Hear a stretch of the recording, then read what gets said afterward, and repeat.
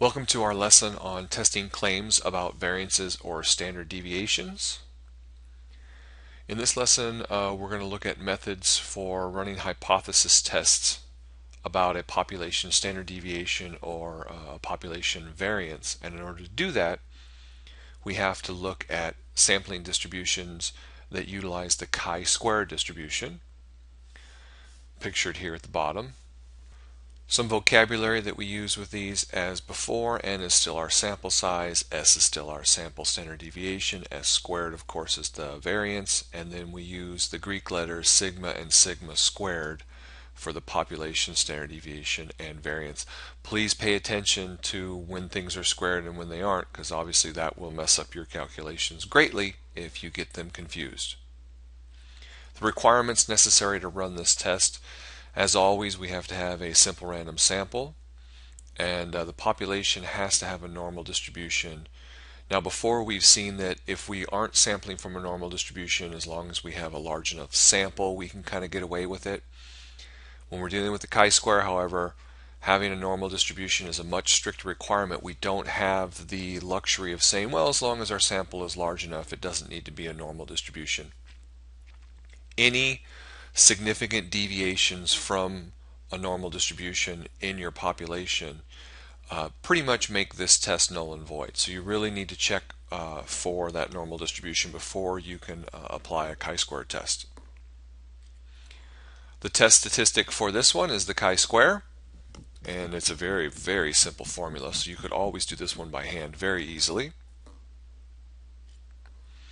Again, we can use uh, either p-values or critical values for testing.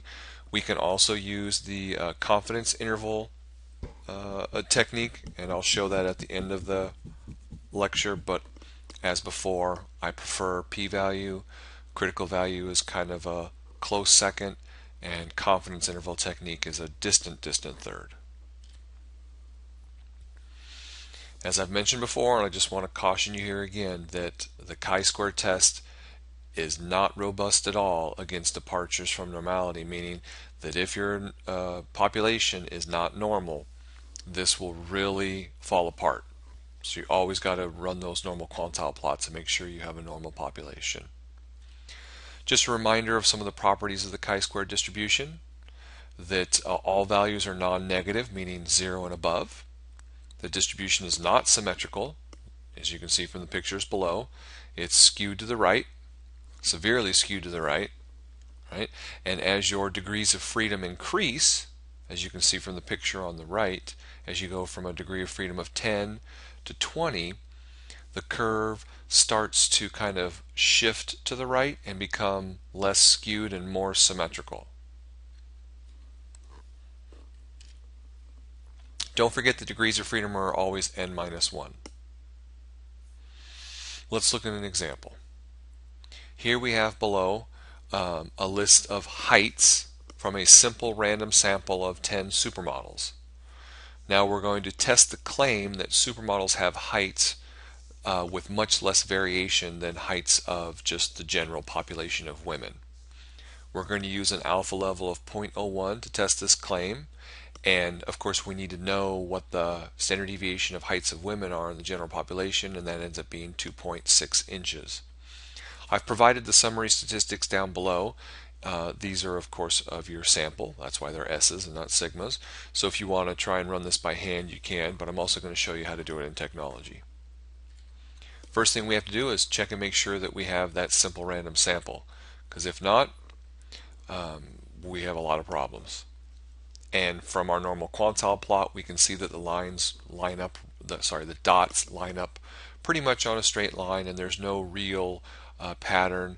So we're, we're pretty safe in assuming that it comes from a normal uh, population. So on to our hypothesis testing. Step one, as always, identify our claim and write our hypotheses with the proper uh, symbols. Our claim, of course, is that the standard deviation is less than 2.6 inches, which we would express as sigma, right? Less than 2.6 inches. If that's not true, then the other side of the argument is that it's greater than or equal to. The traditionalists will then make your null hypothesis strictly equal to, but uh, having it greater than or equal to is actually becoming more uh, accepted. And then, of course, the alternative is always just going to be less than. And in this case, the alternative is our claim, right? That's not always the case, but in this case, the alternative is our claim. And it's always good to identify which of our two hypotheses is our claim.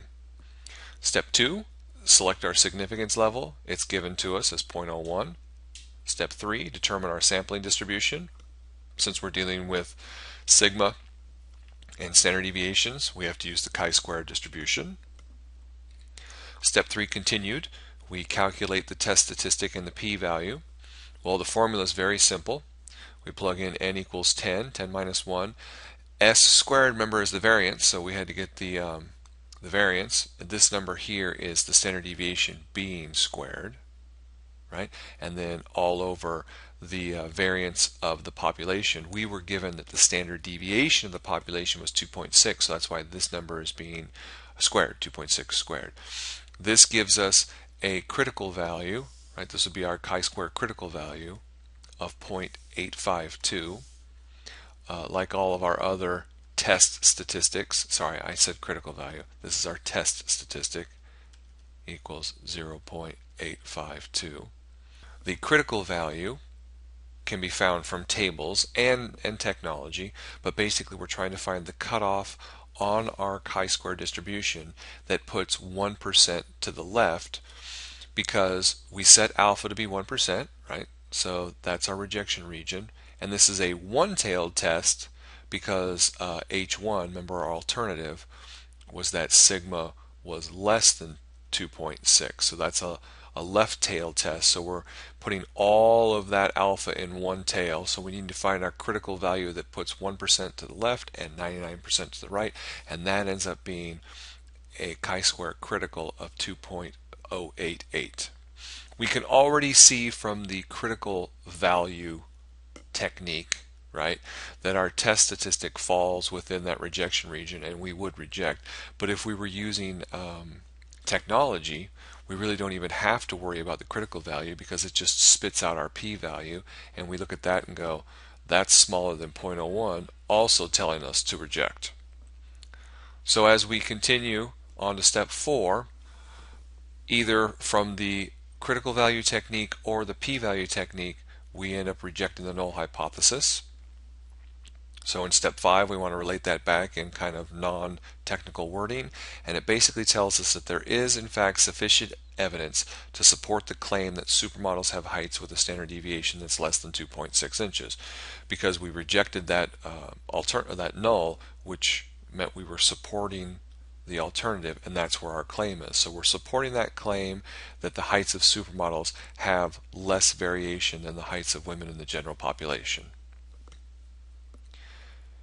If we were going to try the confidence interval method, we would build a, a 98% confidence interval because in order, remember your confidence interval has to be symmetrical around um, your measurement, right? In this case, we have our standard deviation and then we're going to have an interval around it. And in order to have a rejection region over here on the left side, because remember we're just doing a one-tailed test so we're only concerned with things being too small. So having our left-tailed rejection region of 1% because our confidence interval has to be symmetrical this ends up being a 98% confidence interval and leaving 1% up here as well. If you were to create a 98% confidence interval around your standard deviation, you would get this one.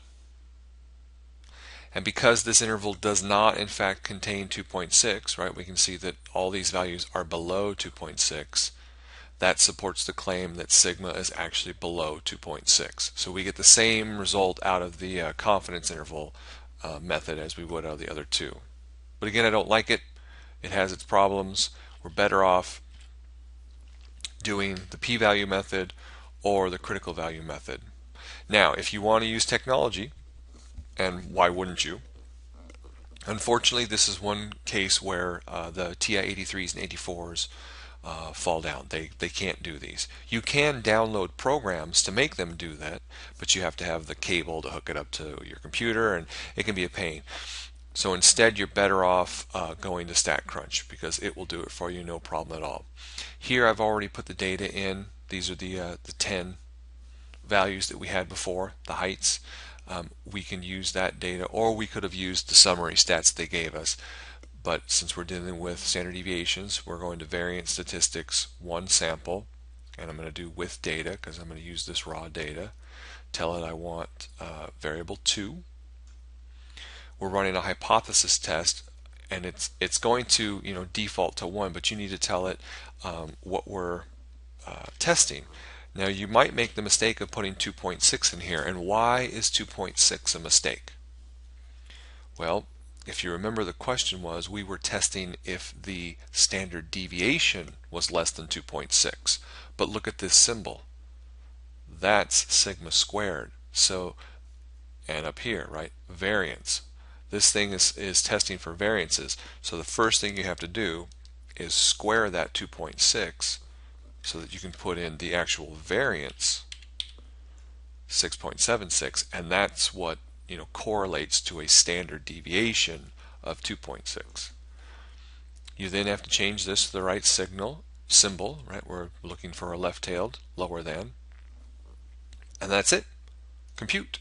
Very simple you get your chi-squared statistic of 0.85, you know, 1, 5, and if you remember that's what they had on the previous screen, it was 0.852, they just rounded to three decimals, and then there's the same p-value, 0.0003. And because that's less than 0.01, we would reject. It's just that simple, guys. That's how we test claims about standard deviations and variances.